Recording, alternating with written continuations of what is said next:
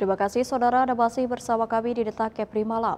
Rapat pleno rekapitulasi hasil penghitungan perolehan suara pemilu di tingkat Kecamatan Batu Ampar rencananya akan dimulai pada Jumat 16 Februari 2024. Hal itu setelah sejumlah kotak suara dari masing-masing PPS Kecamatan Batu Ampar masuk ke gudang PPK yang berada di kantor Camat Batu Ampar.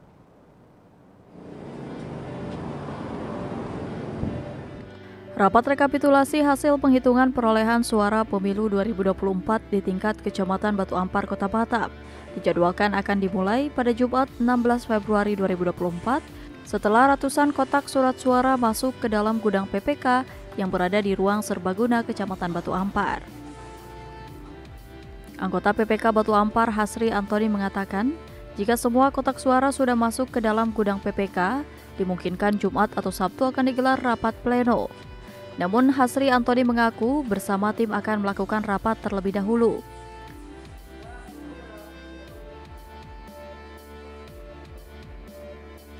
Hasri Antoni yang juga Korwil PPK Tanjung Sengkuang menjelaskan, di Kecamatan Batu Ampar terdapat 175 TPS, terbagi atas 33 TPS di Sungai Jodo, 33 TPS di Kampung Seraya, 23 TPS di Batu Merah, dan 86 TPS di Tanjung Sengkuang.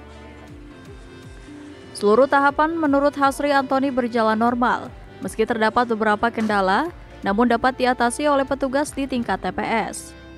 Hasri Antoni juga berterima kasih kepada rekan-rekan TPS yang sudah menyukseskan pemilu tahun 2024 ini. Harapan pleno di PPK juga berjalan lancar. mungkin kita ada mungkin kita uh, agak rapatkan lagi ya dengan kawan-kawan mereka mm -hmm. atau besok langsung kita lanjut atau lusa selesai. Kalau menurut tahapannya sih besok udah bisa. Besok udah bisa. Kita punya tenggang waktu mengingat cuaca yang kurang bersahabat, angin yang kencang, kita memikirkan itu juga. Hmm. Kalau untuk pelaksananya nanti di mana Pak? Di kantor camat. Di kantor camat. Di, di situ kantor, nanti Budi? Ya, di depan kantor camat ada tenda ya? Ah, tenda. Berarti di situ digelar untuk plenonya? Ya, di situ kita untuk pleno ini. Mudah-mudahan lancar-lancar saja. Dari pantauan Batam TV di lokasi, pergerakan kotak suara dari gudang PPS ke gudang PPK juga mendapat pengawalan ketat dari pihak keamanan TNI dan Polri.